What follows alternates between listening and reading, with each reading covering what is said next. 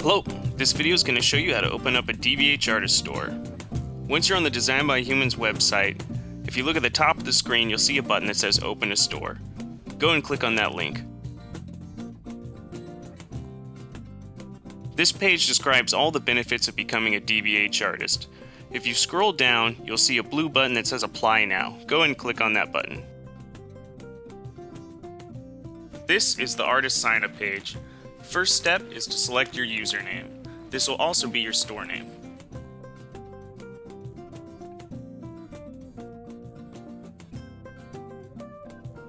Next, select a secure password.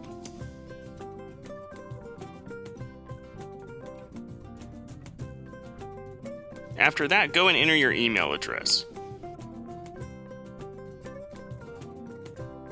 Enter that email address one more time.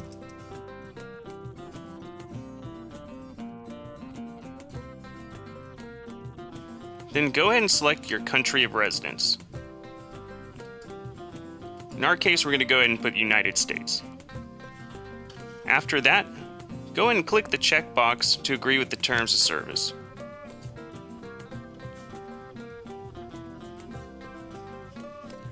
This drop-down menu is going to ask you to select what describes you best. You can select artist, gamer, YouTuber, whatever best describes your store. We're going to go ahead and put independent artist.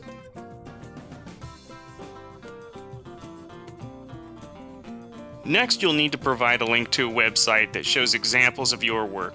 This can be a personal portfolio website, DeviantArt profile, Dribbble, Behance, Cargo Collective, anywhere that showcases your original artwork.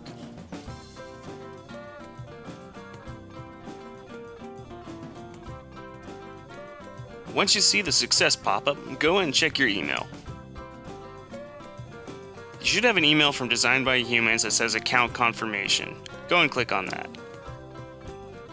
This email confirms that you have begun the registration process and will receive another email to activate your store shortly.